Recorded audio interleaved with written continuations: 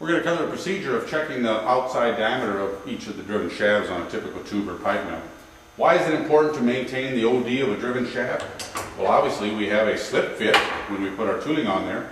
If we have an underside shaft, we're actually going to have a loose fit. This is going to cause runout, it's going to cause size problems, and if we allow this to continue, we're going to accelerate the wear of the shaft as far as the OD and the ID of the tooling, and we're also going to affect it as spacer wear where it's going to be where the spacer is moving on the roll, and this is going to affect our alignment. Check your shafts to make sure that we don't have any big lines or deep grooves in there.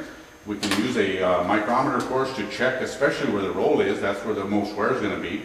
And we can check real close up here by the shoulder where normally a spacer goes so that we can see just exactly what the original OD of the shaft was. The industry standard for the tolerance for undersize of a shaft is one thou per one inch of shaft. So if I have a two inch diameter shaft, I want to look at replacing or reworking those shafts when I get down to two or three thousandths worth of tolerance undersize.